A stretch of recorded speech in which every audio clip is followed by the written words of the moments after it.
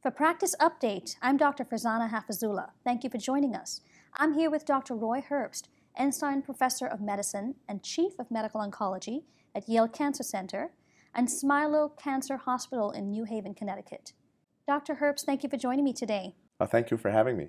Well, I want to end with asking you some of your big takeaways from ASCO 2016 and how it will affect your practice. What will be practice changing for you, something that you would incorporate into your own practice? Right. Well, I, I think you know one thing that, that we're seeing is precision medicine takes charge. We've known that for a long time. In fact, it's four years now since I set up a precision medicine tumor board at Yale, meaning that we don't look at tumors just by where they're from, but we look at them by molecular characteristics. But there are two or three abstracts here that I'm struck by that are looking at large groups of patients, thousands of patients, profiling those patients, and then um, putting them on different drugs. I was struck by one trial uh, where patients are profiled, and then drugs that are already approved for one indication are now being used in other indications based on a molecular profile, whether it be a hedgehog inhibitor, you know, Herceptin in, in some cases. And, and what we're seeing is that if you find the right patient and you treat them with the right drug, it's going to make a difference. So I think my, my, my thought now is how do we get this now to more people? How do we find a way that we're going to be able to match more patients to drugs? Uh, our lung master protocol that I mentioned is, is one way of doing it. Uh, the TAPUR trial is another.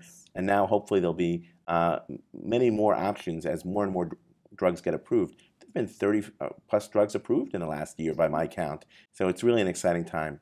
The second message is immunotherapy is here to stay. You know, it's funny, I mean, it sort of snuck in about three, four years ago, and now, of course, everyone's an immunologist. I'll tell you, most of the immunology that we're studying wasn't available when I went to medical Sure, school. So I think we have to be very careful.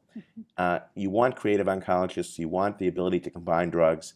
My sense is that's all well and good, but there's a section, the section on co- combinations suggests we need science. We need to understand why patients are resistant and then make rational combinations. And I think that's where a place like mine, where we have science to the lab and the lab back to the clinic, we really have to start to investigate as much as possible why patients respond, but more importantly, why they don't. Uh, but I think the, the future is very bright.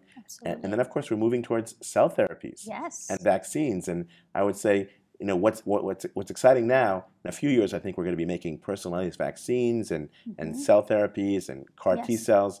And while it all seems a long way away and expensive and complicated, we'll figure out a way because that's the moonshot, right? Absolutely. To, to break down Yeah, barriers. you got it. Absolutely. I know with the moonshot, there are a couple of vaccines already in phase two trials, et cetera. So excited to see what that data shows.